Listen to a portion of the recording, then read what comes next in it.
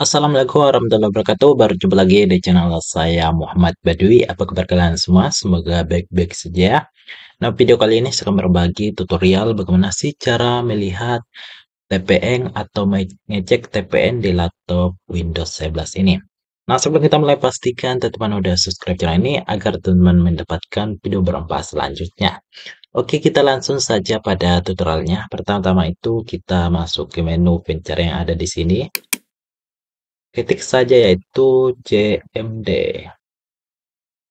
Lalu di sini ada pemerintah, lalu kita buka di sini itu jalankan sebagai administrator. Nah, di sini ada dua pilihan, tidak atau ya, kita klik menu ya. Nah, muncul seperti ini teman. Ketik saja itu TPM titik MSC lalu kita klik menu enter.